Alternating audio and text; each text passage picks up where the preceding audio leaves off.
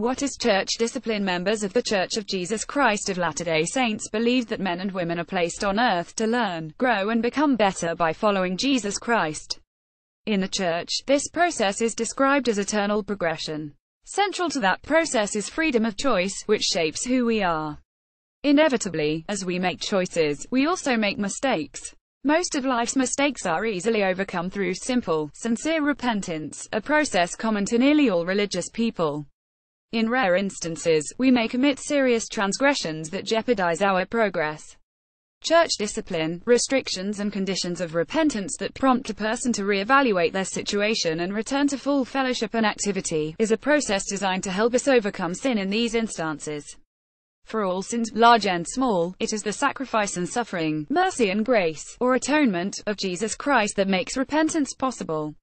Church discipline is designed to help an individual more fully apply the atonement of Jesus Christ, be cleansed of their sins and move forward in their eternal progression.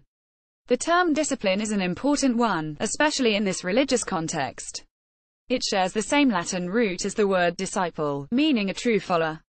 Learning to discipline ourselves is what makes us better people. Any athlete, artist, scholar or musician would acknowledge that discipline is the key to improvement. And so it is with our spiritual progression as well. Christ himself taught repeatedly that we need to be disciplined in our thoughts, words and deeds.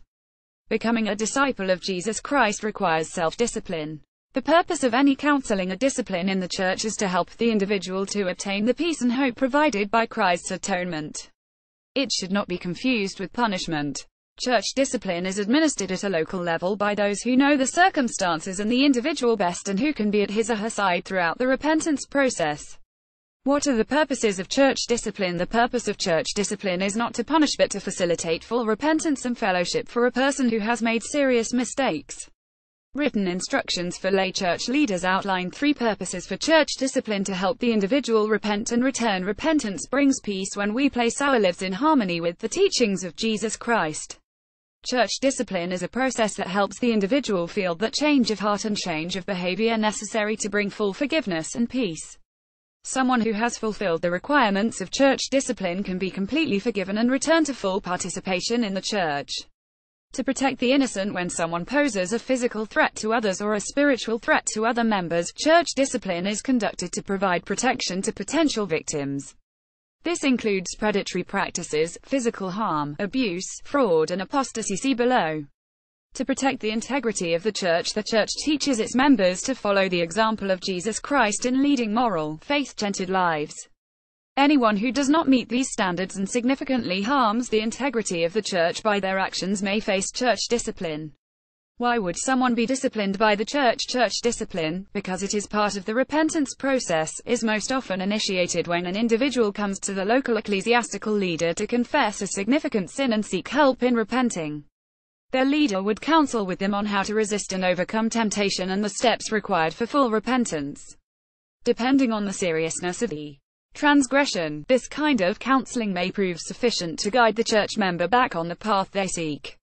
Church disciplinary councils are not legal proceedings and are not held to legally try civil or criminal cases, nor are they meant to address things such as failure to attend church regularly, to obey the church's code of health or to fulfill church responsibilities or to settle disputes among members.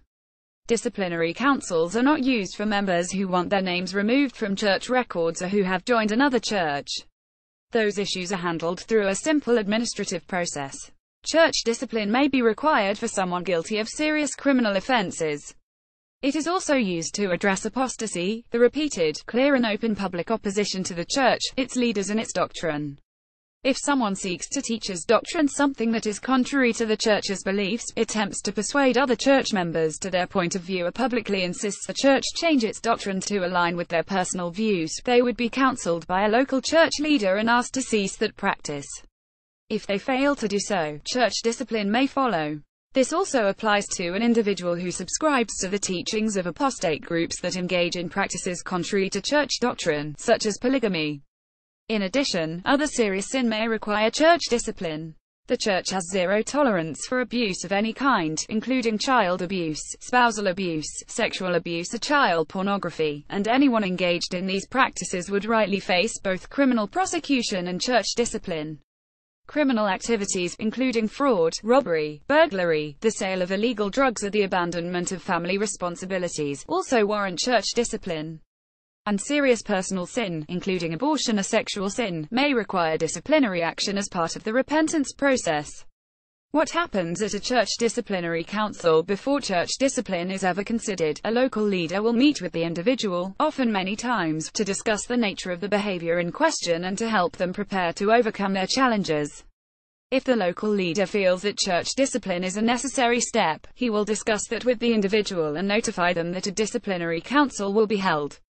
The large majority of disciplinary councils occur at the ward, or local congregational level. For these councils, a bishop and his two counselors invite the individual into a private meeting that begins with prayer. The person is invited to participate in a discussion where the bishop and the individual describe the behavior and any steps that have been taken to repent. There is opportunity for questions and discussion, and the individual may ask that others give testimony on his or her behalf.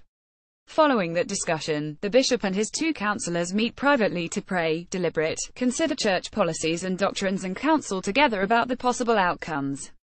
They take into consideration many factors, including whether the member has broken marriage covenants, whether a position of responsibility or trust has been abused, the repetition or seriousness of the transgression, the age, maturity and understanding of the individual, the degree of the individual's understanding and evidence of repentance, and the interests of victims or family members.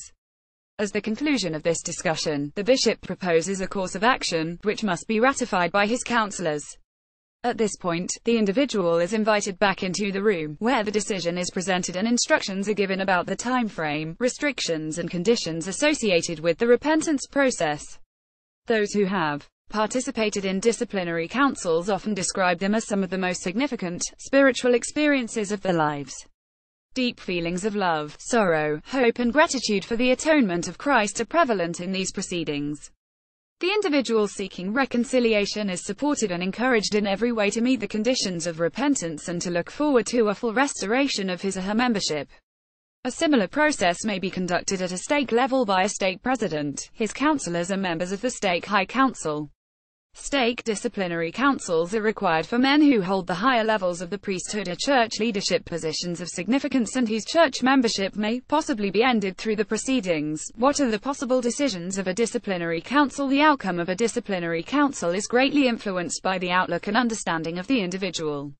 Someone who is repentant and contrite, as the scriptures describe, is likely to recognize that the discipline may be necessary and will welcome any action that will help them overcome their mistakes. An individual who is defiant, unrepentant and contentious will face a longer road back. The church is always eager to welcome back any person who sincerely repents. In counseling with an individual, a church leader may determine that no formal discipline is required. He may conclude that temporary restrictions on church participation including partaking of the sacrament, or communion, holding a church responsibility, or participation in temple worship may be all that is necessary. This is sometimes referred to as informal church probation. If a disciplinary council is held, there are four possible outcomes. No action The council may determine there is no need for any further action and that the individual should continue to work with the local church leader to overcome their challenges. Formal probation Formal probation is a temporary state of discipline where the member may be asked to refrain from taking the sacrament, holding church positions, participating in meetings or engaging in temple worship. During this probationary period, the individual meets frequently with their ecclesiastical leader to help encourage progress toward repentance. Disfellowshipment Like formal probation, disfellowshipment is usually temporary, though the time frame may be longer and is generally at least a year. Someone who has been disfellowshipped is still a member of the church, and they are encouraged to attend meetings, though in those settings they are not permitted to pray, teach, take the sacrament, attend the temple or give sermons in public settings. Men are not able to perform priesthood duties. Loss of membership excommunication The most serious sanction the disciplinary council may prescribe is a loss of church membership. This is a course of last resort and is only taken when less serious disciplinary measures are insufficient. Those who have lost their church membership may continue to attend public church meetings, though they are restricted in their participation in the same way as someone who has been disfellowshipped. Additionally, they would not be permitted to pay tithes to the church. Though they are no longer a church member, the local leader may offer continued counsel and guidance. If a person shows sincere and full repentance and wishes to return to the church, they will be welcomed. Rebaptism is necessary in such cases. What if someone disagrees with the decision if there is dissatisfaction with the process or outcome of a disciplinary council? Decisions made at a ward level are appealed to the stake, and decisions at a stake level may be appealed to the first presidency of the church. Such appeals are uncommon. What happens following church discipline? Church discipline is not designed to be the end of the process, but the beginning of the road back to full fellowship. Depending on the severity of the sin and the resulting decision of the disciplinary council, the discipline may last from a few weeks or months to a period of years. The length is determined by the progress of the individual. When someone has received church discipline, the local church leaders meet with them frequently and in confidence to provide encouragement and counsel on the repentance process. During that time, the leader will help them avoid repeating their offense and encourage them to seek personal forgiveness through the atonement, make restitution for their mistakes and focus on completing any steps outlined for them at the time of the disciplinary council.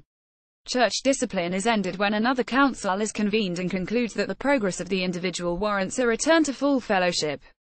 Will the discipline remain part of their church record for most disciplinary actions? No record of the discipline is retained once the person has been restored to full fellowship.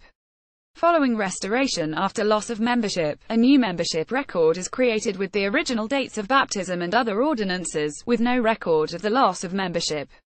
In some cases, including domestic abuse, incest, sexual or physical abuse of a child, plural marriage, predatory activities or embezzlement of church funds, a permanent annotation remains on the record of the individual to ensure they are never again in a position to harm another.